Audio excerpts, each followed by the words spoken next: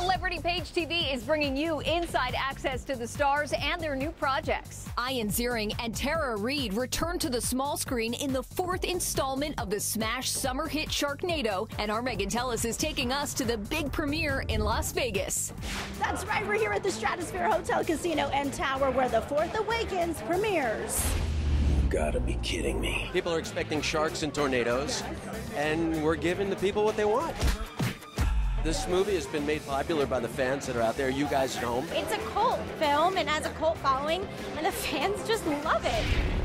May the force be with you. Did you ever think that would happen? You'd be a superhero? I think that's like every actor's dream job to be a superhero. Yeah. Never did I think that my character started, but she ended up a superhero. But it's been so much fun to film. Gotta get out of here. The pop culture phenomenon famous for epic cameo appearances. I'm on a reality show. Uh, I kind of work with a bunch of sharks anyway.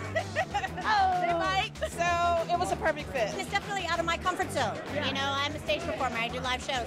So this was different, but I had a good time. Viva Las Vegas. The Las Vegas Strip taking the fourth film by storm. Run away from the Sharknado. Rolling in some of the city's most famous headliners. I wasn't originally supposed to be eaten by a shark, and they they, had, they said, okay, this, you're wrapping carrots off, and I said, am I not getting eaten? Yeah. They said, do you want to be eaten? And I'm like, yes. It's fun. It's it's ridiculous. It's it's just pure entertainment. This is a way to just cut loose. This is Sharknado, and people now expect it every summer.